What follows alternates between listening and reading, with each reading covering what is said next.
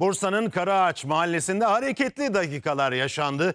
Kadın hırsız ve erkek arkadaşı 5 eve girdiler ve hırsızlık yaptılar. Mahalleli onları fark edince de çatıya çıkıp kaçmaya çalıştılar.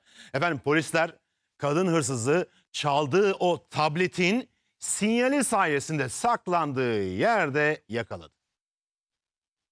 Kadınmış kadınmış. Evde çok yanlış. Neden yaptın? Ne yani niye yaptın?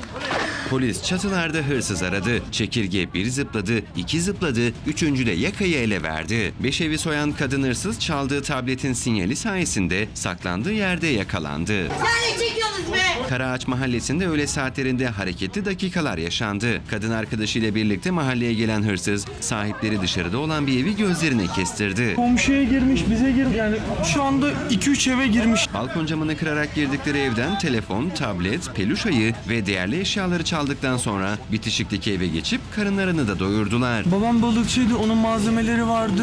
Yani başörtüsüne kadar her şeyi almış. Ama kaçmaya çalıştıkları esnada mahalle sakinleri tarafından fark edildiler. Korkudan evlerin çatısına çıktılar. Tabletimin sinyaline baktım. Polis abilerle irtibata geçtim. Sonra sinyalini bulduk. Hemen zaten suçüstü yakaladılar. Mehmet Efe Sacan çalınan tabletin sinyalinden hırsızların nerede olduğunu polislere söyledi. Çatıya çıkan polisler kadın hırsızı elleriyle koymuş gibi buldular. Ama suç ortağı ortada yoktu. Neden yaptın? Ne yani niye yaptın? Neden yaptın? Arkadaşım kaçtı ben kaldım orada.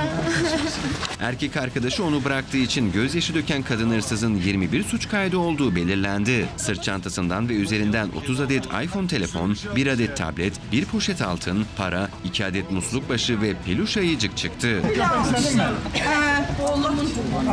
Hırsızın yerini tespit eden gencin peluş ayısını iade eden polisler şimdi kaçan suç ortağını bulmaya çalışıyor. Benim de o peluş ayı en çok ona sinirlendim desem yeridir.